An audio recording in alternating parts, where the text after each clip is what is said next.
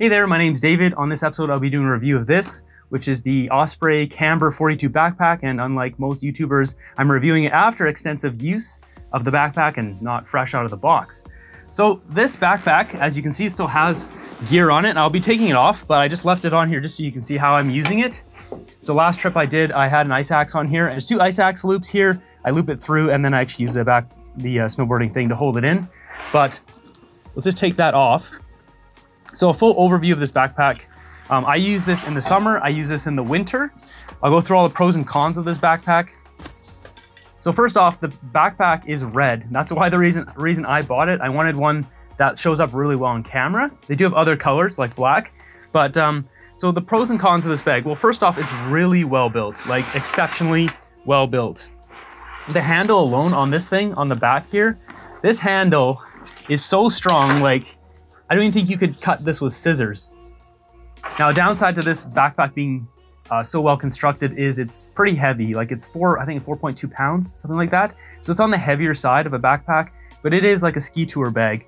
So I use this in the summer and surprisingly, it's not that bad for the heat because it has this arch in the back. You can see here, it has a built-in arch. So the heat does stay off your, your back, now that's also a downside. So it is a positive, it keeps the heat off. And this also uh, deflects all the snow off and the snow doesn't pile on here, which is great when you use it in the winter. But a downside is in the inside, the the pack itself, it's like, because that, that arch, the whole thing is arched. So if you have things that are square, you want to fit in there, that are kind of on the bigger side, it makes it a little bit difficult. I mean, for me, it's mostly like camera gear. I got boxes and stuff that are square that fit in there. So I do have to kind of shimmy them in at a certain angle or whatever. But generally for most hikers and backpackers, it's really not an issue because you know, you got a tent and this and that. They're all modular pieces that stick in. So this bag has a lot of different straps, a lot of different uh, pockets. So one of my favorites is the top here. You can see it has two pockets on the top it actually technically, technically has three. It's got a secret one here. You can put a helmet on top here and uh, we'll just pull that out really quick. It has one of these bits that straps over your helmet and then hooks onto these straps here. So uh, if you want to reduce the weight of it, you don't have to carry this around. If you're, you know, not planning on using a helmet, I used this when I did the Tower of Babel in uh, above Moraine Lake, which you can see here. So my favorite pocket, once again, I was saying here, is this one. This one is soft. It's meant for, I think, sunglasses or stuff like that. I don't know. For me, uh, shooting video in the in the woods and stuff, being an adventure filmmaker, this is amazing to me because I can put cameras in here, and even if I forget the the lens cap or I lose a lens cap, I can put it in here. I know it won't get scratched. So I'm a big fan of that, and it's actually a pretty good size. I can I can fit like pretty decent sized cameras in there or lenses for sure. Uh, above that is this huge pocket which usually absorbs everything, whether it's a Garmin, phones, you know, GPS, um, food. Usually I put even my gloves. Anything I need quick access to is right there. Now underneath, you can, you can also detach this whole top section if you don't want to take it with you. And it does have a secondary hood that goes over top. And these this buckles uses the exact same buckle system. See, these just pop out. And this just hooks in right to the, the same so if you don't want to take the, the, the brain of it, I think that's what they usually call those, the brain, you don't have to. But um, it also has a uh, middle strap here for if you want to take this rock climbing or if you want to bring ropes or whatever. You can just hook that into the, the buckle here and then, you know, lay a rope across, all that kind of jazz. The front of the bag, um, as I mentioned earlier, it has this here, which is the snowboard strap. Snowboard can go in there. You can also do an angled ski, um, you know, strap in. You can also use the sides. So you can put your skis in here if you're ski touring on the sides and have the sideways mount. I, I usually put my hiking poles in there or I put my skis in there. And um, it depends, you know, on the season. Now for the pockets, it has obviously the big main pocket here, which has a really nice cinch too. I really like this cinch here. So this thing, when you pull it, it cinches down nice and tight and really easily. Then you can just grab this little tab and just pull it. You don't, there's no, there's no two-handed thing. So you can do a lot of stuff. I'm pretty sure they designed this bag in mind with um, doing it with gloves on. So everything has these nice big, you know, tassels and stuff to, to grab onto. You can grab with mitts, you know, take your hands out of your gloves. And this is one of those things. So you need to get in there. So inside there's a bladder uh, pouch and there's also like this, this little secondary, secondary pouch here And inside here is a uh, key, you know, a little key hook. So that's always where I put my keys and you can zip your stuff up. And then above that is this um, bladder pouch. Now bladder pouch actually has a little hook too, little um, clip on it to keep the water upright so it doesn't smush down. So it keeps it kind of relatively like a nice shape on your back. Something to note with that, as you can see here, I have my water hose sticking out of the zipper. So I actually, um, right above the, the load lifters. So you'll notice here, to, to unzip this bag has rear entry and it has top entry. So you can do either or. So I'll just do that here, and zip this down. So you can do rear entry. This is great for photographers or videographers you can get to the bottom of your bag if you have like a drone down there or something. And um, you can see this pouch here. So it's all good. And then, but yeah, the, the water bag, you can use this just as a pouch if you want, but if you want to store your water in there, it's, it does have like, it feels like some sort of um, ripstop or something in here that's that's probably somewhat waterproof-ish. Uh, I've never had water leak in here, so I'm not too sure if it seeps through or not.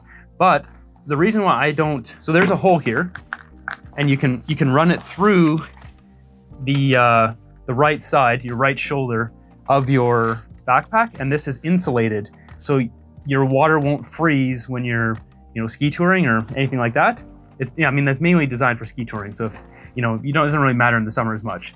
The reason why I don't use that because I haven't had a problem with my water freezing. First off, and I actually like to keep. I just run it out of the, you know, as I had it before when it was zipped up. I just I just zip it up right underneath the. Uh, you just zip this up here.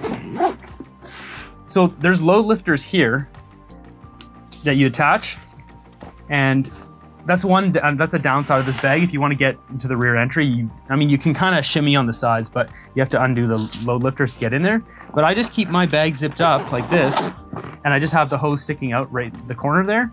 And the reason for that is because this this um whole pocket that's for the hose is such a fantastic, useful pocket that I use it. Let me show you here. Open this up. So I keep flashes and bear bangers in here and they whistle. So I've got my, my bear banger um, launcher and then I've got a flash, a banger, another flash. And at the very bottom, I have a emergency whistle, which is really, really loud.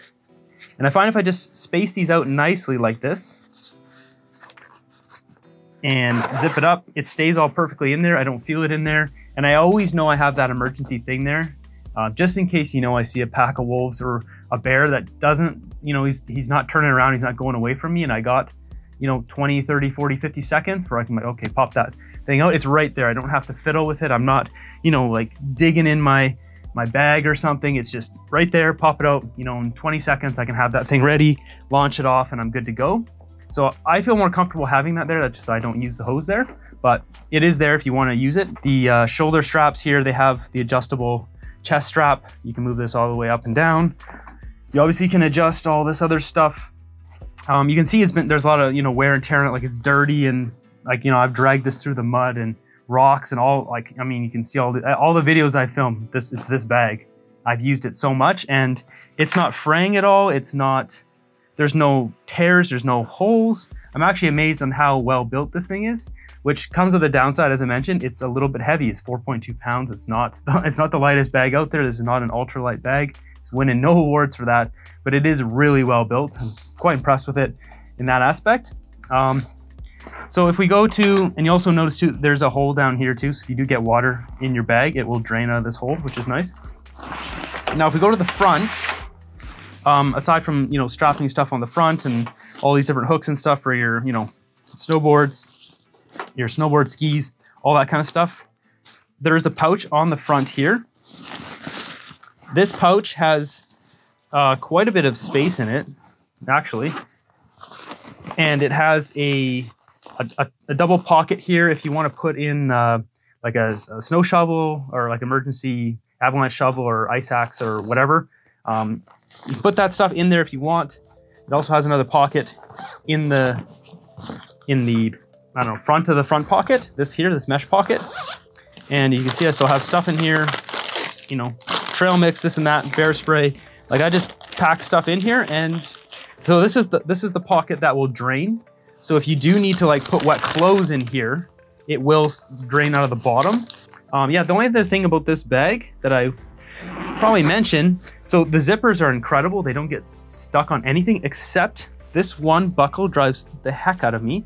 This one strap, I'm tempted to just cut it off because I don't really um, use a rope too often because this is the rope, the rope buckle. If this is dangling down all the time and you go to pull this shut, it always gets tangled in this rope, this this uh, strap, this buckle. So that's the only thing I don't, I don't know, it's one of the big griefs of this bag. This thing drives me nuts, is this one little bit. Other than that, like it's solid. It's a really solid bag. Like I, I mean, I use it in every video as you can see. And um, the only other thing I have to talk about is the, the pockets. So the pockets on this bag are incredible. They really are. These, these hip pockets are large. See if I can puff that out for you here. There's one on either side.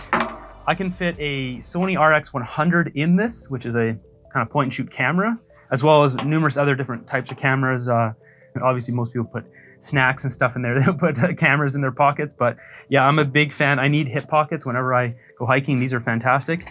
And also the, um, the straps, I didn't really mention, but they're nicely cushioned. They're very comfortable. They fit well. With the load lifters, you can get it really nice in position there. And the hip belt is very like, you can see it's wide. It grabs you. It's got a great buckle. You can see it's nice and thick and sturdy. No messing around here. So yeah, I'm a big fan of this bag. I definitely give this a big thumbs up. I've been using it for a while now. Multiple different hikes. Yeah, aside from those few things, the rope strap and the, the weight of the bag, this is a definite big thumbs up, especially if you're into ski touring.